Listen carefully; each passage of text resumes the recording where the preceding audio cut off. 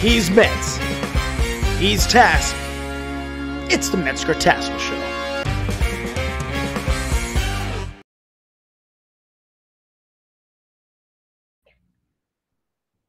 A new commercial.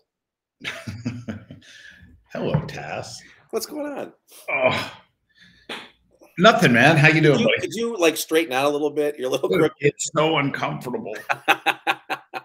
uh, Oh, anyway, hey, I'm excited about today's show because we got a handsome fellow on today.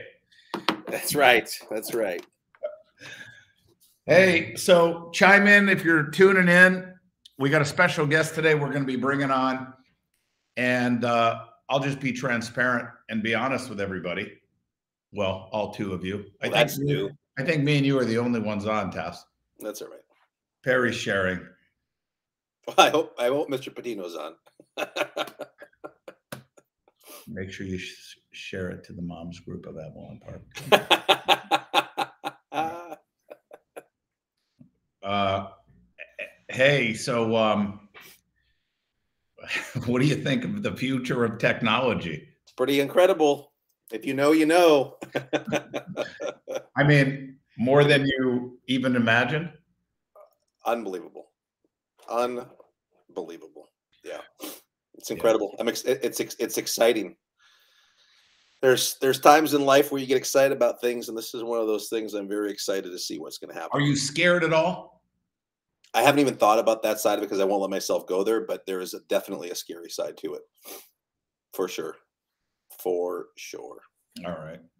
Well, school owners, martial artists, join us. We're going to bring in Jayson Patino, owner of American Top Team East Orlando, which is a BJJ slash MMA school, right? Um, but the reason why I think it's relevant is because it's all about systems, you know, business systems.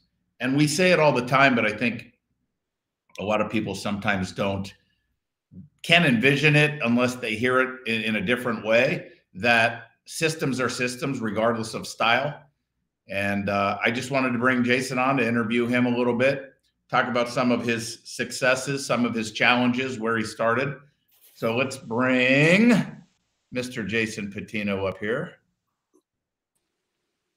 Whoop. hello There sir it is. How's it going, guys? what's How you happening doing? Great, great. Can't complain.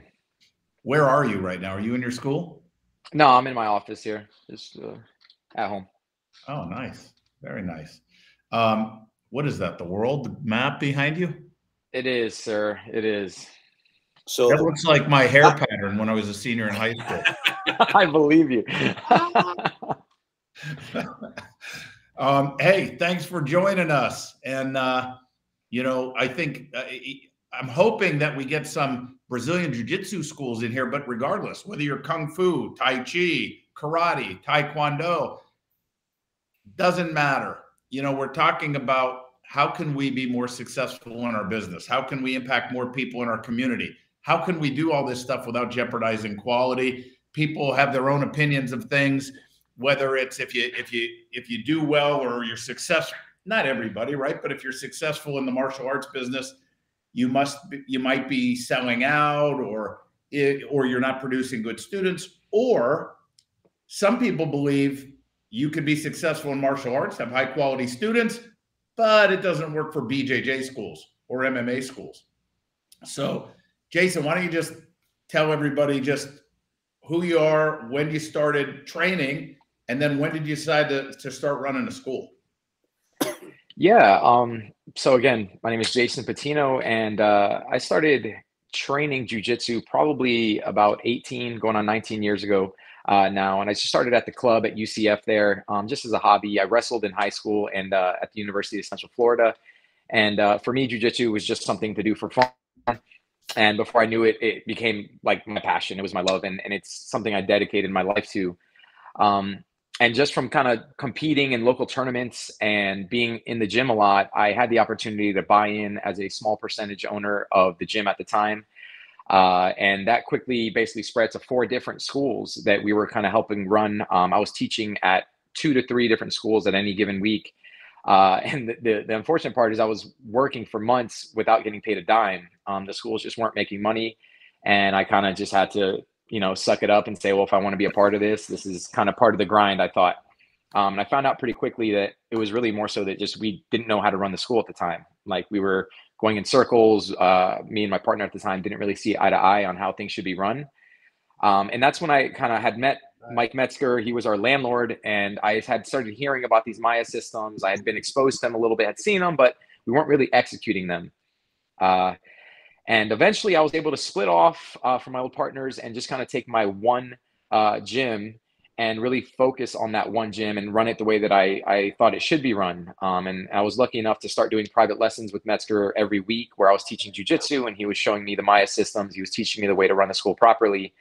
Um, and I think the big difference for me was as a competitor, I left no no stone unturned as far as how can I succeed? What are ways that I can improve on? I kind of humbly just learn from anybody and everybody. And I took that same mindset with my academy, and I, I had this vision. I had a goal. I wanted to have the, the most successful uh, MMA gym in Central Florida.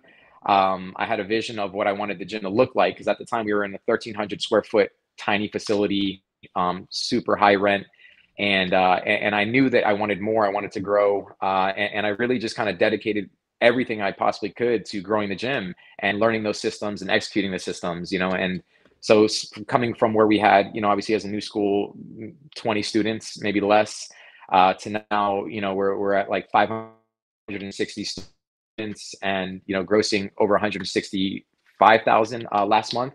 It's really just been uh, incredible to see that teaching a teaching jujitsu and Muay Thai, uh, you know, and MMA can get you to this level.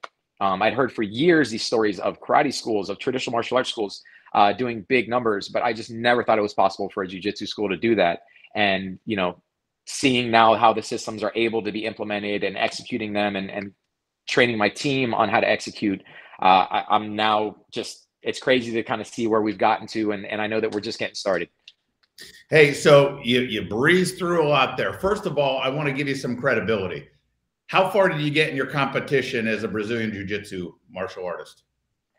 Um, so I was able to to win a world championship. Um, I had I had medaled. I had lost a lot of times competing in the IBJJF World Championships, and brought home a gold, uh, a silver medal, uh, a couple bronze medals as as purple, and then a brown belt, um, a silver medal, and even at black belt IBJJF in the adult division, I was able to bring home a uh, a bronze medal. And I started competing uh, as a member of the U.S. World Grappling Team. I was winning the World Team Trials. I won, I think, three different times and representing the United States. Uh, and that's where I won the World Championships in grappling uh, several years ago. So, you know, for me, again, competing was my life. Um, in wrestling, I was an All American, a, a, state runner up in high school. So I, I always had that competitive drive. Um, and again like as soon as i opened my gym i knew like i didn't want to just run a gym i didn't want this to be a hobby if i was going to do something i was going to put everything into it and uh, you know i wanted to learn from the best. And as everybody wants to do that in whatever style it is that they might train in i wanted to learn with, from the best in the business world.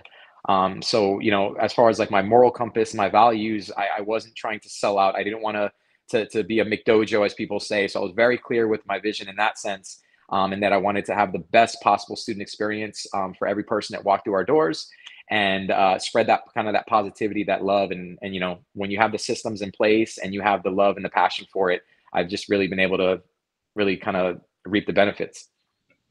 Okay. And Tass, I want to throw it to you, but before I do, I just got to ask you. So listen, for those of you just joining us, we got Jayson Patino, who owns a BJJ uh, Muay Thai MMA school in Orlando.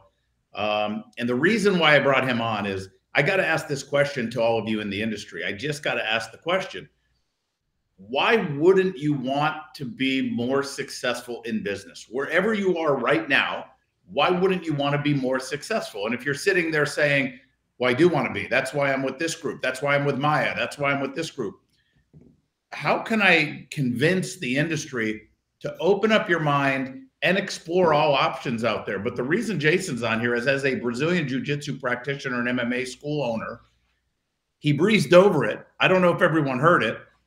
How much did you do last month in December? Uh, we did one hundred and sixty-five thousand eight hundred and forty-five dollars. $160,000 plus, right? Too many numbers in there for me to remember exactly what you just said. But over 160,000 last month in December. Um, he's a world champion. He's a medalist the, on the world level, high quality, uh, phenomenal instructor. Business is business, right? But Tass, jump in before I, I dive in on on some systems. Sure. What what do you have? Because I, I know just, you want to. Yeah, I just think you know it's it's always kind of good to kind of like go back in time a little bit, which you touched on. But how many years ago were you a, a, a partner in this multiple school deal? How long has that been? Uh, that was about 15 years ago. And then when did you open your school? When did you break off and open your own school? 11, 11 years ago, I broke off and had my soul school there. Okay. And I'm at sorry, that did time, you say, did you sell your? Did you say you sold your you sold soul? his soul. That's what I heard. Yeah. That's good. Wonderful. And at that time, how many students did you have? Uh, we had less than 20. We, we split off. We had less than 20 students. Um, and in, in December of 2011, we did less than $1,000 in revenue. Um, it was just, it was, it was heartbreaking, but it, it was kind of an eye-opening experience. That was the straw that broke the camel's back in order for me to split from my partner. We said, listen, this isn't working. Um, and I said, you know, I just want to, I want to try it. I'm going to just go and try to do it myself.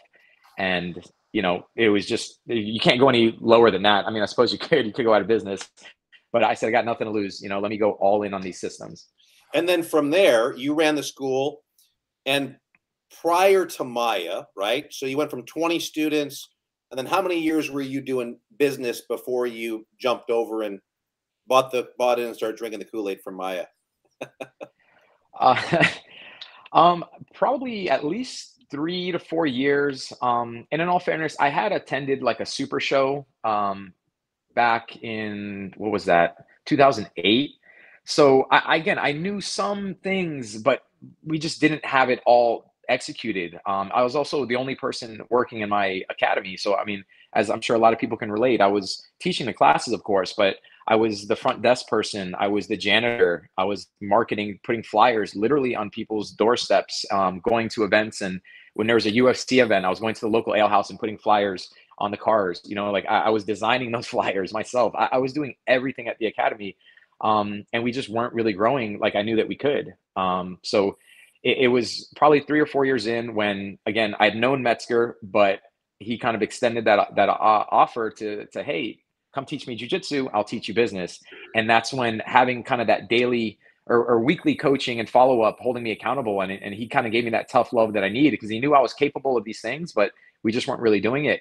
So when I would meet with him, he'd say, Hey, did you do this? Well, no, I didn't get around to it. He's like, What are you doing? Just like in jujitsu, you go do that. You tell me to do this, but you're not doing it. And so I kind of needed that. I needed somebody to be there, reminding me and just keep holding me accountable. And that's when we just started to see the numbers grow. And prior to those conversations, what was your so you went from 20 students and then you built it up on your own prior to the conversation with Metzger. Do you remember where you're at roughly in, in numbers?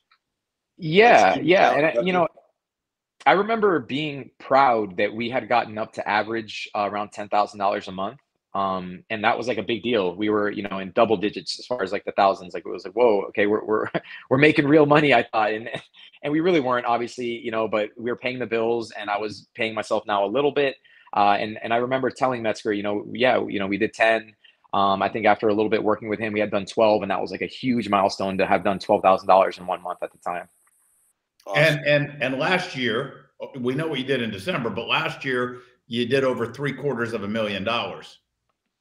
Yeah, um, you know, so, so, we had the one location, um, one space, and you know, we only have, including myself, we have we have six employees. You know, so uh, it, we're just really, really focused on the team and the mission, and everybody taking ownership for really what what it is that we're trying to accomplish, and that's grow the school, change our students' lives.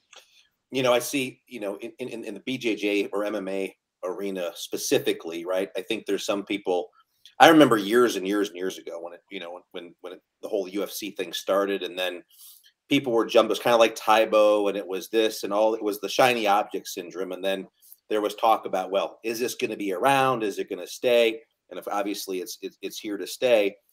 But I also think there's a lot of people that just because the sport is so big now, you know, there's definitely some positives to that is from from a marketing side there can be some negatives to that as well right? When you start looking at the after effects of some of the ufc fights and maybe scaring people but you know some people rely just on that type of of you know word of mouth or the marketing so to speak that's that's being put out by these big organizations to grow a school. Do you agree that if you just had that that would make a difference? Or is it that in conjunction with the business systems that you've overlaid on top of your school that, that have helped make the big difference? It has to be the systems. Um, you know, word of mouth and popularity definitely help. Um, and how mainstream now MMA is and jujitsu is, is just so popular and people want to get on board. Um, but without the systems, I think uh, a lot of the schools, what you're seeing is, is they're doing good. You know, you open you open the doors and you put jujitsu on the you know on your sign up up up top, and people are going to come in. But a lot of people get sucked into that. Oh, we're doing good. You know, we have, you know, maybe we've grown to 100 students. We're doing okay, but you're never going to maximize your full potential unless you have the solid systems, you know, that are proven. Um, and that's something that I, I also was guilty of uh, when we had grown a little bit and we were doing 10,000. For me, that was a huge improvement. And I thought at the time, I was like, man, we're doing so well and we've grown so much. And it was Mike that kind of opened my eyes and said, man, you know, look what these other schools are doing and you're capable of that. And so it's the systems ultimately that are going to take a good school to that great level. Um, Jim Collins has a, a, great book called Good to Great, and it really discusses that kind of mentality that people get. And when they're doing good, they get complacent. They're kind of just uh, they settle. Know, like okay, I'm paying my bills, I'm breaking even, or whatever it is.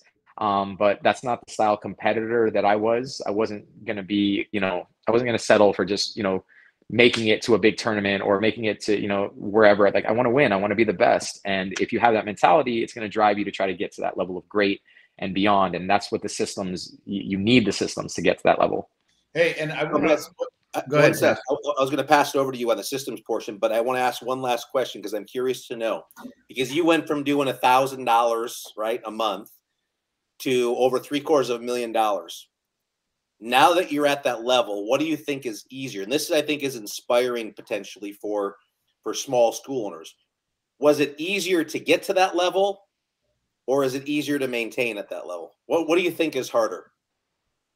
Um i think it's harder putting the work in to get to that level because you're already grinding. Like no matter what i know i know what it's like to do seven eight thousand dollars in a month and you're working hard and now that we're doing you know well over that you know 10 times that amount uh, I'm I'm working less. You know, I, I, I have way more freedom. I have more time now to maintain, and obviously I'm having to uh, supervise and coach and, and my staff. You know, we're having our staff meetings, and I'm making sure that they're doing what they need to be doing, and I'm still working. But uh, yeah, it's it's crazy how when you implement the systems and you're able to make money uh, without even needing to necessarily be in the facility, um, you can start to kind of taper off the amount of work that's that's necessary to maintain. Now, of course, I'm still trying to grow, so I'm still putting in more work um, and still doing other things to fill my time. But I think um, that grind is what people are are kind of they're afraid of, but they don't realize you're already still putting in the work. You might as well put in the work, but with proven systems. And a question, a question here: Do you have a second job, or are you full time BJJ? Um, I've been full time BJJ for at least uh, no for the uh, the 11 years. Like since i opened i i went all in. I, I used to deliver pizzas. I used to be a server like a lot of people you know i was waiting tables.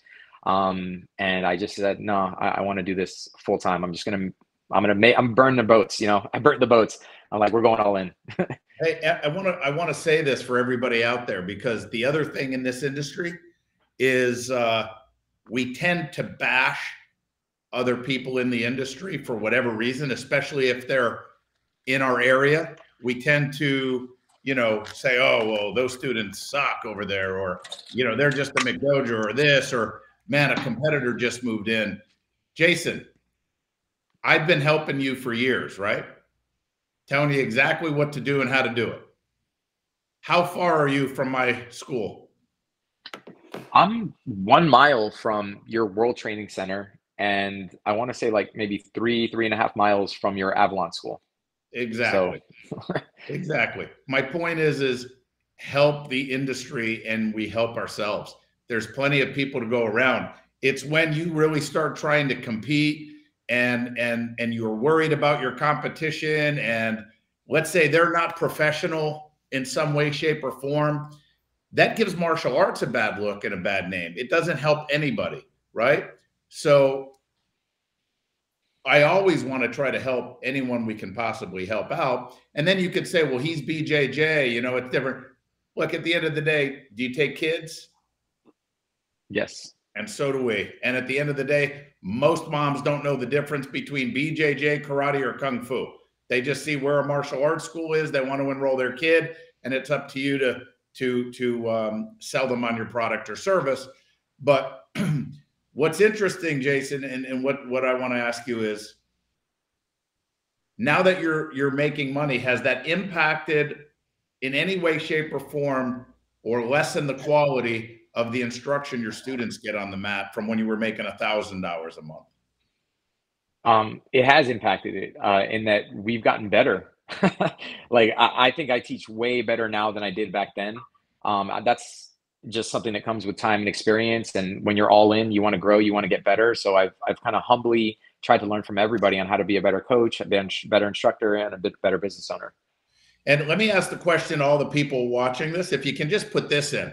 How long have you been in business? Can you just answer that and put it in the chat box, everybody? How long have you had your own school or worked in your school that you're currently in?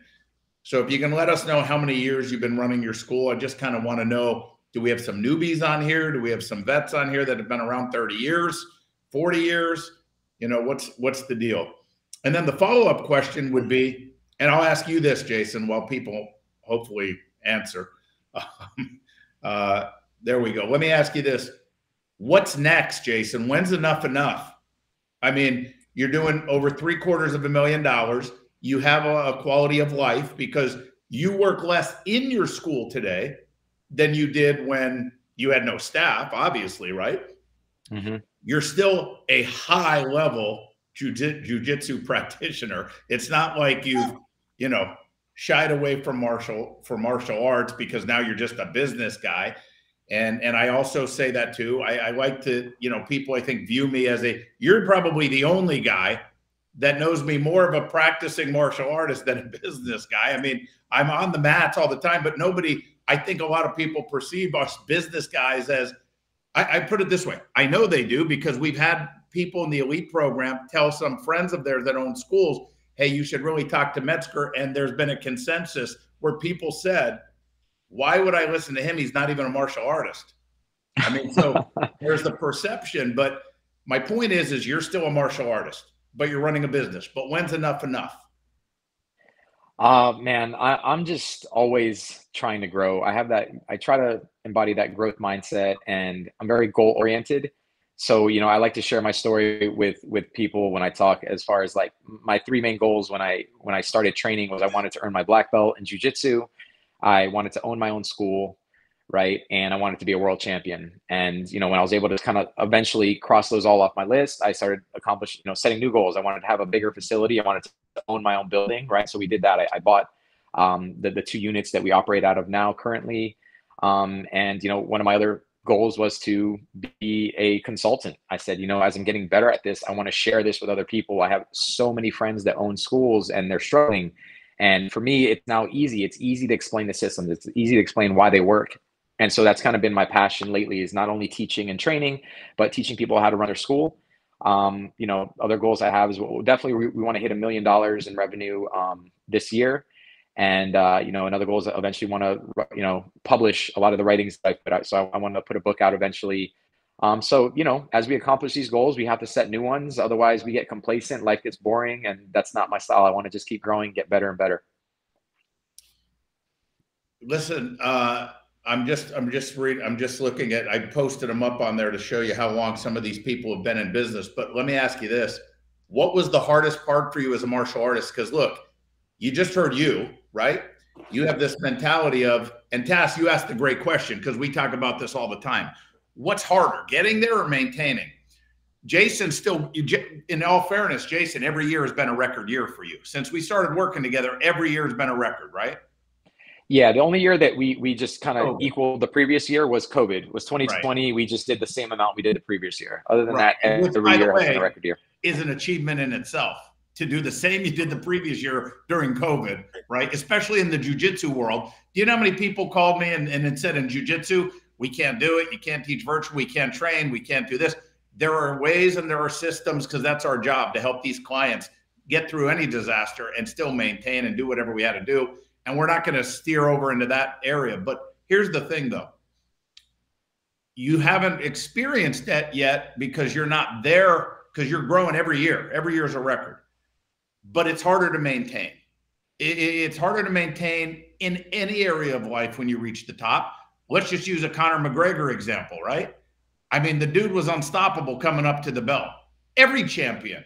You have exceptions like a George St. Pierre, maybe, right? And Anderson. But think of how many times have people made it to the belt and only defended it two or three times and then lost it. And then they got to get back, right? It's hard to maintain. Why? Because subconsciously we can get comfortable. We can get comfortable. And you need somebody to push you to not get comfortable if that's something you want right? Because your goal may not be to grow to a million dollars, but your goal may be, I just don't want to lose what I have. But if your goal is to not only just, I just don't want to lose what I have, there's only one direction you can go, and that's down. You either stay right here or you don't. But if your goal is to go here, if you fall short here, you're still here right? And we want to try to always grow. So for the people that have been in business for 16 years, 40 years, 20 years, right? Are, are you good? Because that's what we do, right? We want to try to get you to that next level, but that next level isn't always financial. We talk about it, Jayson, because again, I want to say what he said. I asked Jayson if he would be willing to come on as a MAIA Elite consultant specifically for our BJJ schools and MMA schools because he's in it, right? And he can he he can teach, and he's he's just he reaches the top of everything that he does, and he commits, and he's all in. So he's consulting now as a MAIA Elite consultant for those schools, but it's not all. The one thing you said to me, if you remember, Jayson, was, "Well, look, what's the time commitment to consult because." Quality of life is important to me. You have a young son, you're married, right? You want to have family time. You love traveling. You're traveling the world. You travel the world all the time, right? And so we went over that. But sometimes it's not always about reaching the next level of financial success. It's about reaching the next level for quality of life for you, or it's about reaching the next level for your people, your team, the people under you that has helped you get to you to where you are. And that's where I'm at. I'm so hungry to grow just to provide a better career and opportunity for all the black belts and all the students that are now been with me. Mr. Peterman's been with me 29 years, right? And so I want to have them be able to continue to grow. So you got to find something that's going to motivate you and, and keep you hungry because you may reach it to a point where you're like, we're doing great. I quality of life is more important to me now you know, I have enough money or I have enough success financially or whatever it is, but you got to find that motivation. But I still don't understand. And Jayson, I'm going to ask you as a martial artist, was there ever any hesitancy? And what was it? Like, for example, getting the heads of our industry. You know, everyone on here, whether they want to admit it or not, would like to be doing better than what they're doing. I mean, every, I mean, they just would. If I said I can snap my fingers and double your gross revenue and your profit, and I walked down a line and said, Do you want me to snap my fingers, give you double profit? I don't know who's going to say, mm, No, I don't want that. Right. I just don't believe it. So I believe everybody wants to be able to do more. They may not want to do what it takes to do more. That's fair. But Jayson, do you believe that not just MAIA, you you've been have you been part of or, or attended other organizations out there? No. Consulting? No, good. You're smart man. Um, I'm, kidding. I'm kidding.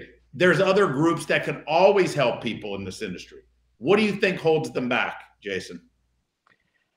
I think a lot of people are very similar in that they have this fear in their mind. They they they create these fears that they think, oh well, no, people aren't going to go for that, you know. And it's a lot of times that rule of 80-20 where we focus on this small percentage versus the larger percentage who aren't really going to have a problem with how you run your academy. Um, and so I remember for me, like one, one of the obstacles was when you wanted me to implement that pricing structure, the, the MAIA pricing structure. And I was just like, who's going to put a down payment down, you know, or who wants to commit to, to 12 months? That was even an obstacle at first. And you, you, you had me kind of start with baby steps.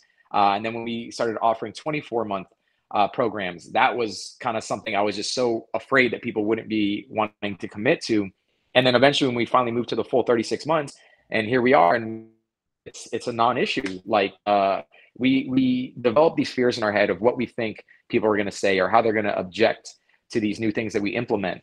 Um, I mean, we even implemented a uniform policy, you know, and, and I remember that was a big deal. I really was stressing over that. And, and I remember um, my, uh, another, my, one of my mentors, my instructor, Master Ricardo Liborio, um, asking me what I was afraid of. And I said, well, you know, I don't want people to, to, to like compare my gym to like, like a Gracie Barra where they make you wear their uniforms. And he said, Jayson, Gracie Barra is the most successful jiu-jitsu academy in, in, the world. They have, you know, over a thousand schools. Like, why are you afraid of doing that? And and it just kind of was like a light bulb. And so a lot of times I was creating these fears in my head. I've heard from now my clients that they have the same type of fears. And so I love that I have now been able to overcome these things, show them that it's possible, succeed. And now my students are happy. They love it. It's not like we're pulling a fast one. You know, a lot of our students have been with us for many, many years and they love training at our academy. So now I see that that was just something I was creating in my head. The fear was not real. There was no reason to, to, to, to kind of hold back or fight back on implementing these new policies that, that have helped us grow and tasks like Jayson, you may or may not realize, but you, in your answer, you probably just scared about eight people off this show because you said, you know, when you told us to go to 12 months and down payments. So what people are thinking is up oh, contracts, you know, they need contracts. So they, you know, you should never do contracts. Didn't that you should do month to month and this, that, and the other. And it's not that it's wrong to do month to month, but what I have to convince the industry is it's also not wrong to do 12 months not if you're upfront and honest with your customers before they sign up in your school. Um, but the fear is, is why would I lock somebody in who, who may not want to be at my school, who may not want to be there? And, uh, you know, if you're doing a good job, they're going to stay. And what I try to explain to everybody watching, and I'll explain to you guys, right? Because this is important to understand this, um, is most people come to your school for a specific result. I want focus for my kid. Or my kid saw a, a, martial arts movie. Or I heard this is a great way to get in shape if I'm an adult. Or I want to learn self defense. Or uh, my kid's been bugging me to do martial arts because his friend Billy trains here. So he's been bugging me. So we thought we'd come in. They have no idea the education and the life changing program that they're about to get into. They don't have any idea. So if they get into it because they want to get in shape, what happens when they get in shape? They may think, oh, I got in shape, right? And they're not thinking the day, all you martial artists, no one knows what the experience is like the day they get a black belt wrapped around their waist and the sense of accomplishment they feel, the confidence they feel, the pride that they feel, um, the doors that, that that opens as far as career opportunities if they choose to do it. The leadership that they're going to be doing as a black belt in more they don't know what that is. They don't know that feeling. So when somebody comes in and they say well my kid wants to do it well especially with kids well what happens when the kid says mom i don't want to go because it got a little boring. The last class was kind of not fun. His friend billy didn't show up for two weeks so he doesn't want to go because his friend's not there. They're going to just leave right now you could say well we provide service but at the end of the day if they don't want the product, you can give the best service. I'm not going to a seafood restaurant, no matter how great the service is, because I don't like seafood. I mean, I don't care how great it is. I, I don't want, I don't like it. If somebody doesn't like your program, we, whether they're on an agreement or a month to month, we try to get them through it. But, but instead of selling a membership, which when you sell a month to month membership, there's no end you're paying to be allowed to come into the facility. I mean, that's what you're paying for. It's every month, and you get the right to come in and train in our school. I like to sell people a tangible program that they sign up for. Here is our program it is 12 months of martial arts lessons. This is what you're going to learn in those 12 months. This is what you're going to get in those 12 months. This is the life skills you're going to get. It's X amount of dollars. How would you like to finance the program? And then people can decide whether they want to buy that program or not. But if somebody's listening to this and like the industry, people that don't like contracts, right? If you're trying to sell somebody a 12 month membership contract, that's hard to do. I think that's hard to do because there's a bad uh, uh, uh, uh perspective of a 12 month membership contract. I am locking you in for 12 months and you're going to pay this every month, just the right to come in, as opposed to here's the package you're buying, here's the program you're buying. Boom. It's the same thing. And I say it all the time. If we go to the car dealership and I want to buy a car, we have a choice, all of us. Hand them a check for $50,000 or sign a contract that you're going to pay for that car over three years, four years, five years, six years, whatever you want to do. You decide how you want to budget, but this is what I'm buying and I will pay for it over time. That's easier for me. Same thing in the martial arts business. And I'm trying to get the industry to understand that. And then there's, I know there's people on here saying, oh, it's, you know, you're just playing with words. It's a contract. It, it is a contract. It absolutely is. But it's a finance contract, is what it is. And again, for everybody that doesn't, and I'm not saying you, you need to do contracts to be successful. I'm not saying that. But Jayson, you were nervous about it you did it in the BJJ world, which uh, you know how many times we hear in BJJ we're different. It's different. These people are different. These guys are like we deal with a lot of college people and a lot of younger guys, and they just want to hardcore train. They're not going to. How many students do you have now? Uh, we're at 560. 560. So yeah, they don't want to. A lot of college kids that you know don't want to pay. I mean, so my my point is is before you knock the verbiage call us up and just hear the explanation. And that was a five minute overview, but there is a explanation and a way of presenting. But listen, everybody on here, you can charge 10,000 a month. If you want to charge 10,000 a month and charge people to drink out of your water fountain, it's okay. Just tell people that when they come in before they sign up with you. Walk in and just say, "Hey, I just want to let you know, every time you take a sip of that water fountain, it's a thousand dollars." And and then I would be like, man, that's nickel and diming. But this guy might walk in and say, man, I think that's a great deal. All right, I'm signing up. I mean, it's okay. Just be upfront and honest with your people before they enroll. Um, and then, real quick, do you think uh, way back in the day, that's why in, in back in the day, champions lasted longer because of less money and they stayed hungry? You guys can answer that. I think that was in relation to the, you know, what, it, what is it? Is it harder to get to where you are, maintain, or is it right. harder to, to, to maintain? Right. Right. That's true. Yeah, when you're hungry, you're on the way up, you're willing to kind of do a lot more, and then a lot of times you get complacent when you're at the top. Very common. It is, but you gotta. It's a mentality, is what it is. And and and Jayson, I don't know for I know for me, right? when I got on board with the MAIA systems, same thing. I remember coming on board in July, and by September, so in July I came on the Super Show. In September, I completely revamped my entire school which that will scare some people like, oh, I can't do that. But that was my mentality. Like I'm, I'm going all in, right?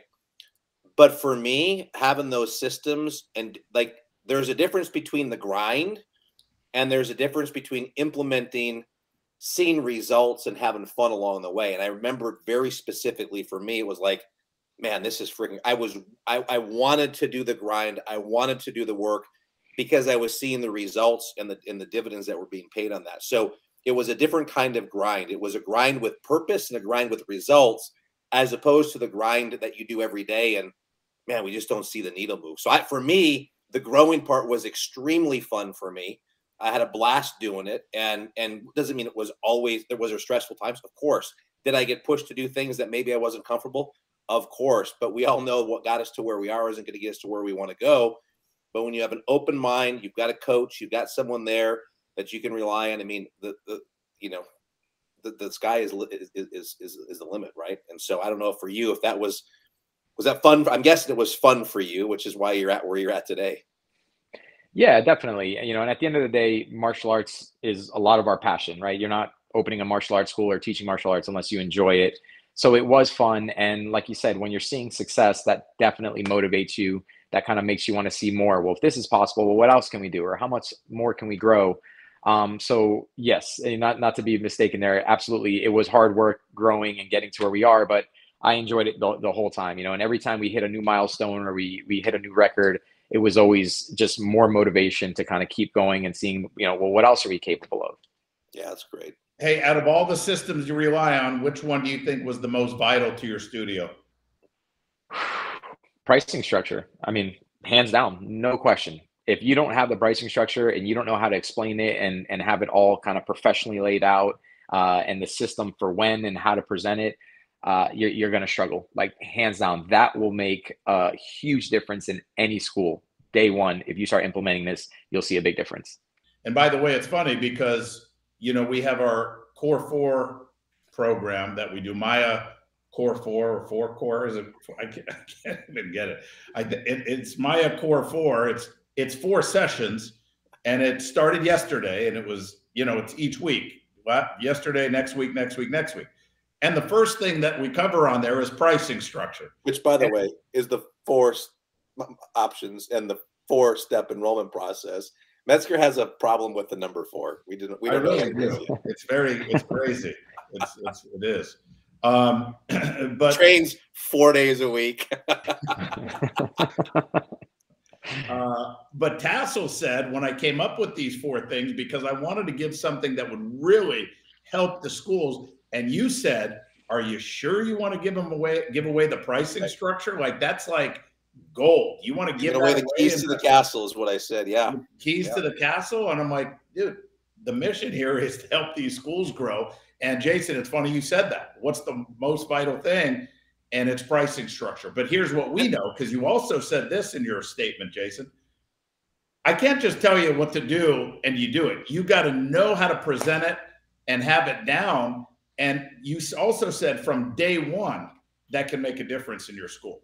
From day one, that can start generating more. If somebody started that on February 1st, right, will they make more money by the end of February than than they did last year or than they would have if they didn't have that pricing structure? No question. No question.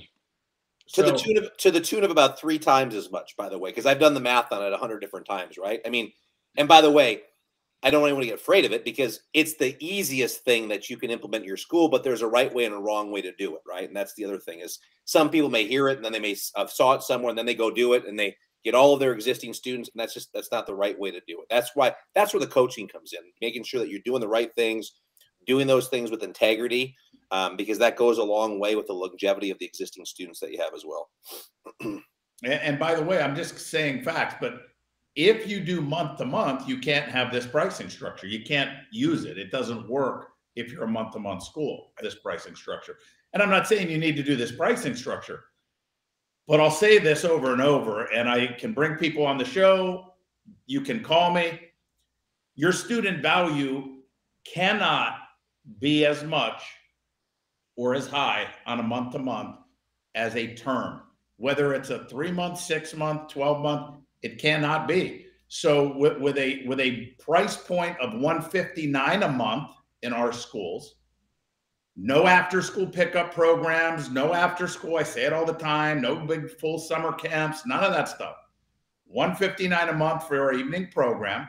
Our average student value between all seven of our schools, which is now eight, we just opened a school in the last 30 days. Uh, but last year, all seven of our schools averaged a $226 student value. And what's amazing about that, that I want people to know, because it's what we don't know, right? It, it's we base our decisions on what we do know. We, we, we don't always base our decisions on what we possibly don't know. But our family plan, everybody, and our basic program is the first two family members pay full price, 159 and 159 and all additional family members in our basic program are free. They do not pay a monthly fee, but we still count them as active students.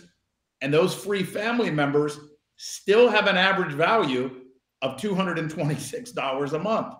And people are probably sitting there saying, Well, I don't understand. That's not possible. Exactly. But, but it is, and we do. And you're more than welcome to come to Orlando anytime you want. Sorry, did you hear that little grunt, Jayson? It's your fault, Jayson.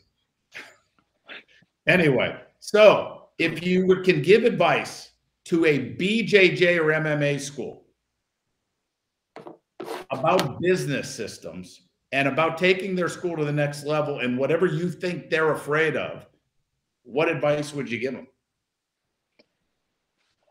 I would absolutely advise people to have an open mind um, and to just look at other successful schools, you know, and if it's working in other schools, you know, why can't it work for you? Why can't it work in your school? And just like when you're open minded, when you start training in any martial art, you know, we all started as as no belt and then as a white belt, and jujitsu being unique. You know, a lot of us have been doing jujitsu for many years. If you're running a school, uh, you know, you have to have an open mind, and the the moves and the techniques are very much against what your natural instincts tell you to do you know, we, we tend to kind of want to stick with what we know, keep it simple, and you learn in jujitsu. No, you have to open up. You have to do different things than what you think you would need to do, uh, and that's the right way to do it. And so the same is true in business. You know, it, it is a martial arts academy, um, and if this is your passion, if this is where you're going to be working and putting your time in day in and day out, why not use a proven system? You know, that's worked not just for traditional martial arts schools, but has obviously worked for jujitsu and MMA schools like mine and many other schools around the country. So uh, you know, you don't really have anything to lose but to keep growing. So have an open mind and, you know, execute at the end of the day. Be motivated. If you're motivated to grow, you're motivated to get better, execute. And remind me, were you a month to month school? Uh, yeah. I mean, we were month to month, or we did like six months. You know, that was like, oh, we offer a six month uh, program. So basically, month to month. So when you decided, when you did go to 12 months, was there a difference on enrolling people or? Not really. I had this fear that so many people were going to like object or or just refuse to sign up. And the reality was you know in you know let's say 20 people that might sign up 50 we might have like one or two just kind of ask a question about it. And then of course you reassure them because you want to be honest.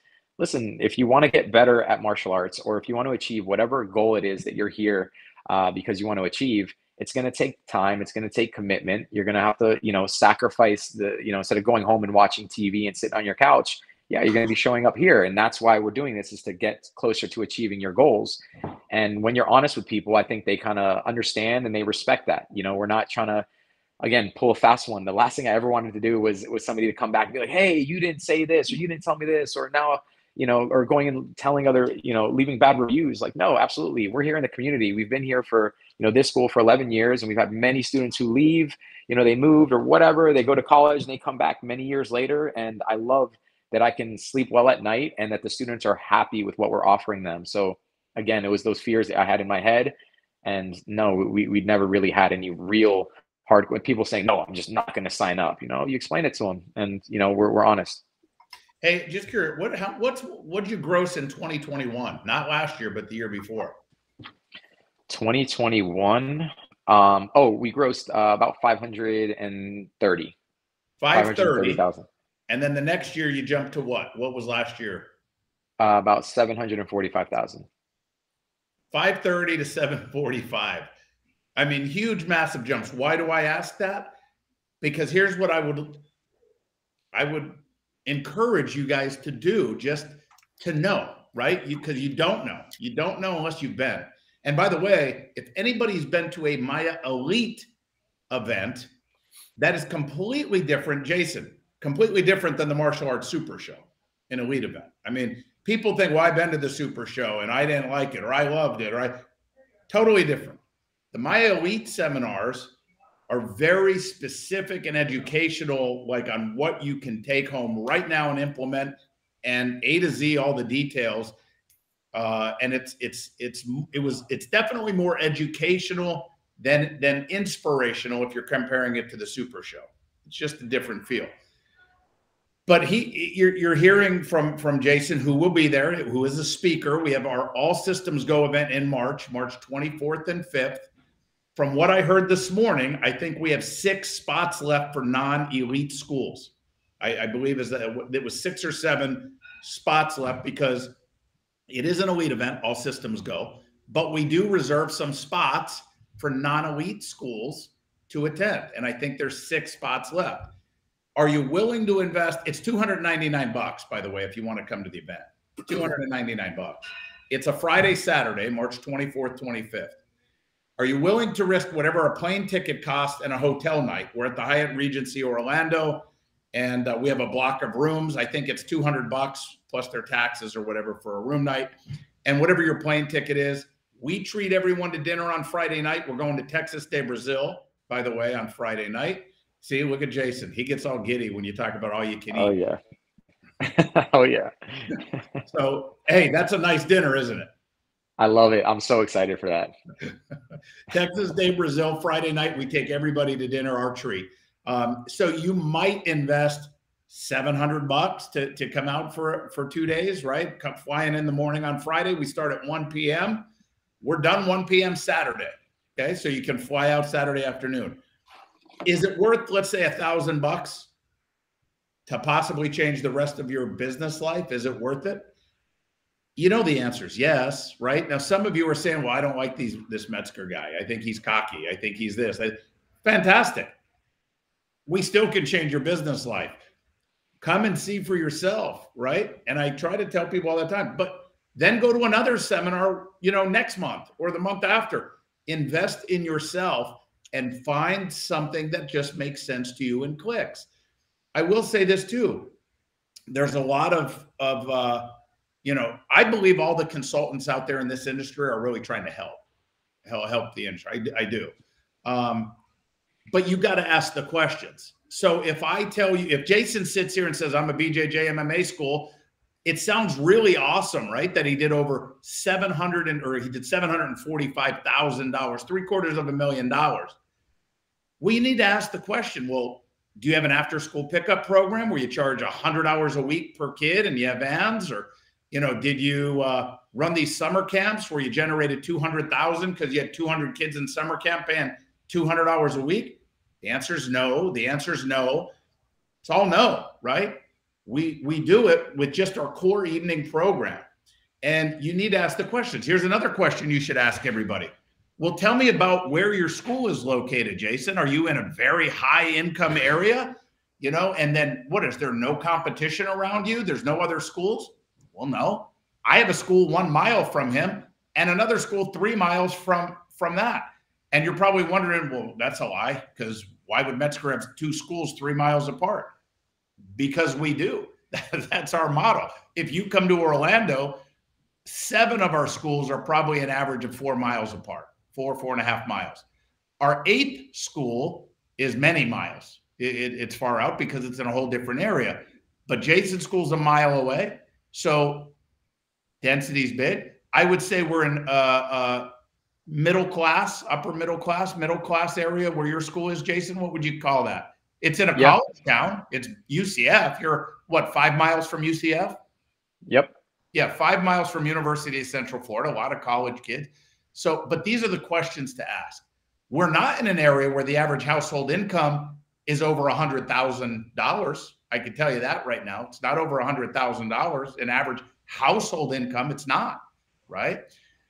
So these are the questions you should ask because you need to know whatever they're preaching. Will this work where I'm at in Kansas? You know, will, will this work? Right? If I'm in Beverly Hills, California, and my rent's 15,000 a month for 2,500 square feet, and I'm charging $250 a month, and I'm telling you how I'm doing a million dollars a year in revenue, can you charge $250 a month in, in, in your town? I mean, I can't. We can't our town. I mean, that would we'd be out. We'd out price point, outprice ourselves at that rate, right? So we have systems that are universal. I don't care what style, where you're at, what it is, because Jayson, are you familiar with my Curry Ford school, Chickasaw Curry yes. Ford? Okay. What in, what in, income level do you think that area is? Uh, definitely a low socioeconomic area. Right. And guess what? They have the same price points, the same systems. And that school, by the way, in a lower economic area, I'll just tell you, let's see, I have it right here. They did $627,239.69 that school last year. So hmm. 627,000. Now, the school in in the area that Jayson's in did 879,000. But that that's okay, but we still did 627,000 in a low socioeconomic area, right? These are the questions you need to ask. If you want information on the event where Jayson will be speaking, Shane Tassoul will be speaking, I will be speaking, Mr. Josh Arsamont will be speaking. Chris Rodriguez will be speaking. Kurt Klingenmeyer will be speaking. Adam Harmon will be speaking. We have a keynote speaker, Jay McGowan. He'll be speaking. It's it's it will have over 300 school owners there, people there. Um, that that that's just as powerful when you're mingling with these people as hearing the speakers or meeting the speakers. And why do we treat everyone to dinner? By the way, when you go to seminars, do they treat 300 and some people to dinner? I, maybe they do, but that costs us a shitload of money to treat over at Texas de Brazil. We're not taking you to Taco Bell, right? We treat everyone. Why do we do that? Because we know how important it is for you to be surrounded by these other people that are success minded and driven, where you're building rapport and you're building relationships with these people because they will help you as much as we will help you. We help each other. And that's why we take everybody to dinner. We just feel it's really important to bake, uh, break bread together, and and everybody likes to talk over a good meal. So, anything you want to end with, Jayson or Tass? Well, yeah, Jayson, what are your what are your goals? You mind sharing for the next five years with your martial arts school? Uh, well, this year we're trying to hit a million. Um, at the end of this year, uh, in December, we're hoping to do two hundred thousand uh, dollars in this coming December. Um, but I mean, I, I, think we may have to end up buying uh, land and building our own building uh, from scratch. So that, that right now we're kind of entertaining that for the five uh, five year plan. Um, and again, just keep getting better. We're hiring more more staff, keep growing. Um, the goal here in the next couple months is to hit 600 students, um, and just seeing how far we can take this. Good for you, man. That's amazing. Congrats on all your success. Hey, and just Thank while you. he's on here, my five-year goal is to get a stripe on my brown belt. Hey, come on. We Don't all got to be dreamers. So high, Mike. I, hey, I shoot for the stars. I love it. Anything else, guys? Jayson, anything you want to just end and say to the group? Uh, no, again, you know, just kind of going back to that idea of, you know, having an open mind and, you know, just you, you, we should be, uh, we should have this humble uh, mindset of just wanting to grow, wanting to get better. It's natural when we train any martial art. Uh, the goal is to improve, and you have to learn new new techniques. And absolutely, there's a struggle. Um, it's a hit to your ego, you know, where you're not doing as well performance wise because you're trying to implement new things to your game, and it, and it might feel uncomfortable. It might feel unnatural at times. But if it's something that's proven and somebody's coaching you and they're helping you, um, have that open mind. Go out there and really just try your best. I mean, we, we preach this to our students um, every week, and and again, I want to lead by example. So I'm trying to be the best that I can be, the best version of myself in every aspect of my life. Whether I'm talking, you know, as a father, as a husband, as a, a boss, as a competitor, um, as a teacher, and as a business owner. So I'm not just going to slack as a business owner um, because I don't want to step out of my comfort zone. No, I'm I'm always out of my comfort zone because that's where that's where the growth lies. You know, so have that open mind. Um, you know, and if you can make it to that all systems go event, I think that's going to be a great way to see firsthand uh, all the benefits that you can kind of implement in your school. Talk to other school owners who've been there, who were maybe hesitant also at first. Um, and I think that anybody that shows up to that event is going to see an immediate improvement in their school's revenue and the growth and the culture and just everything. And I think that's going to kind of motivate people to keep going from there. Uh, and and real and and and then they said, uh, Mr. Desjardins said, "How do you accommodate that many students? How many classes a day and students in each class?" Um, you know, we just have one mat uh, at my academy. So hold on, Jayson. Have, that that's important. That's another mistake people make, and and and people can debate me on this too. Having two floors and this that because I've done it all, done it all one mat. Jayson, we've talked about this. Didn't we talk about this back in the day, having two mats, two floors? If you want to maximize one floor, it's about the schedule. But go ahead. How do you accommodate how many classes a day and students? Well, well, the second super important part of the systems is is the schedule. You know, so the way that that I was taught to to tweak our schedule to offer class times, you know, that'll accommodate basically anybody that walks through the doors um, our class sizes, I'd say right now, like our bigger class sizes are probably in uh, 40, 45 people. Um, you know, it's big, but uh, it's not unmanageable by any stretch of the imagination, you know. So we got creative with the schedule. We fit the kids in earlier in the day, of course, the adults at night. We offer 6:30 a.m. classes, 11 a.m. and 12 p.m. classes. Um, we do have like a small mat area for people to stretch or warm up or private lessons off to the side, but we're running strictly one mat. And again, the schedule is the way that you're able to make that happen. And by the way, you have classes at six in the morning or six thirty. What time? What are? Yeah, six thirty. We have jujitsu classes Monday through Friday. Right, right. And so there's it's a lot. Because someone will probably ask the question: How how big is your mat? Your main mat? Well, I say your main mat. There's only one mat, but there's a small stretching area. But you're, you're um, you're, it's it's about two thousand square feet of mat space. All right, there you go. That's a that's a big mat. That's you know, some, some people's schools are only two thousand square feet, right? So that's, that's way bigger. And by the way, I'm going to reiterate too.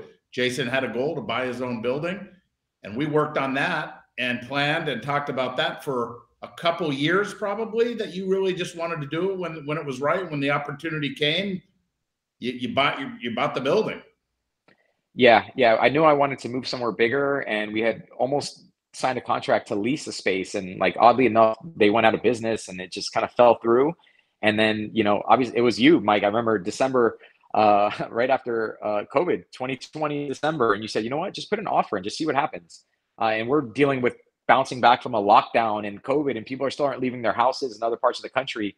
And I'm over here putting offers in to buy the building. It was crazy, but uh, you know, when you invest in yourself, you believe in yourself, and you know that's what I did. I said, I know I can make this work, and and we did. Yeah, I mean, you, you really have done unbelievable, and that's why we, we love having you on the team to try to help the industry and uh, you know share your success and help others achieve uh, that level of success and, and more. So appreciate the time, man. Appreciate you coming on. And uh, yes, and, and it's funny how you you said I'll relate this to to to martial arts as we're martial artists because don't we always talk that jujitsu, the lessons of jujitsu are really lessons in life. You can apply business and life to to jujitsu. And by the way, my background's taekwondo. Everybody, you know, I'm uh, that was my background, but I I've been training in jujitsu for a, a long time now, and and Jayson. Uh, promoted me to, uh, to to brown belt with Mike Lee and some of the other guys that work with me on I don't know December, November, December, just a couple of a month or two ago. I, I don't know, but um, but it's what you said last week, Jayson, in class.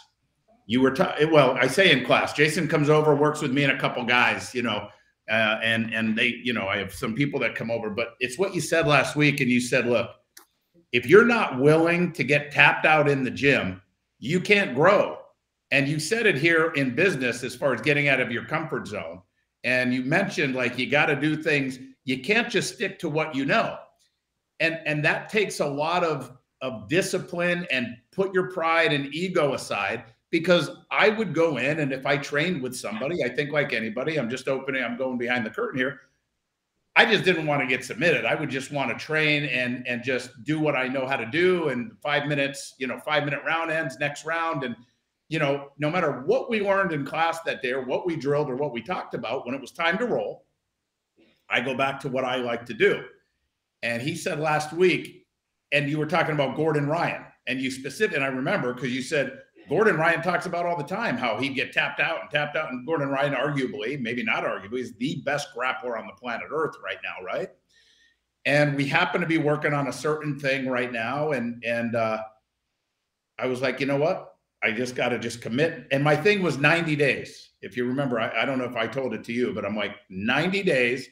I'm just going to stay committed to trying to find this entrance into deep half guard and just try to figure that out and and a couple other things. And I got submitted three or four times yesterday, and I freaking loved it. And I will tell you this: I at the end of that class, I felt like my jujitsu just went up another level from that. And and and I'm so excited about that because it's the same in business. When you get out, if somebody came to the event, the seminar, and all they did was implement a pricing structure and they get out of their comfort zone and they were afraid of commitments or contracts or terms or whatever. And they just did that. You said it, Tass said it, I said it.